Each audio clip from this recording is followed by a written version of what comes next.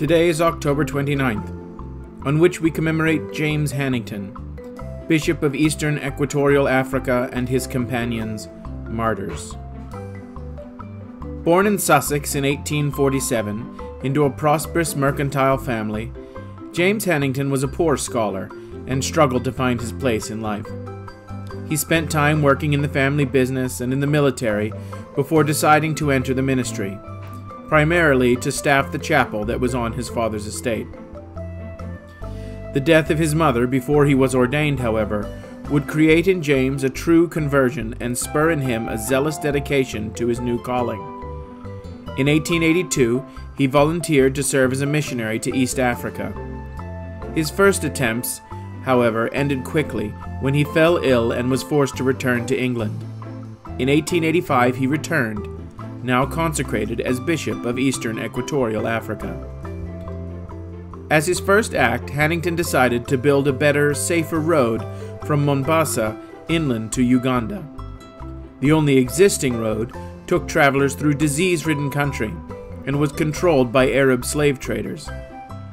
Mwanga II, king of Buganda, an area within Uganda, was suspicious of Hannington's motives, fearing he was trying to create a route for a military invasion. Hannington refused to stop building the road, however, knowing what a boon such a path would be for the gospel. He reached Lake Victoria on October 21, 1885, where Mwanga had him detained and his Christian porters murdered. On October 29th, Hannington himself was driven through with two spears. Before dying, he gave his executioners the charge Go, tell Mwanga, I have purchased the road to Uganda with my blood. Indeed, he, like so many pioneering missionaries, died before he could make any converts. But in his death, Bishop Hannington, both literally and spiritually, paved the way for the gospel. Today, the Anglican churches of Uganda and Kenya are among the most vibrant in the communion.